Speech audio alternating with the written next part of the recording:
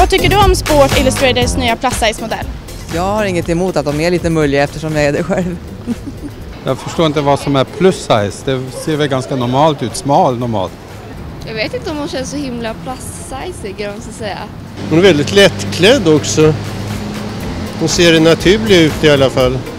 Nej, det verkar inte vara speciellt många stockholmare som tycker att Sport Illustrators nya plus size-modell är speciellt plus size.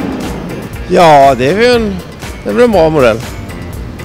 V- Vad tycker du om, tycker du att hon är plus size? Jag vet inte vad plus size är. Jag tycker hon ser ganska normal ut. Men Vad menar du med normal?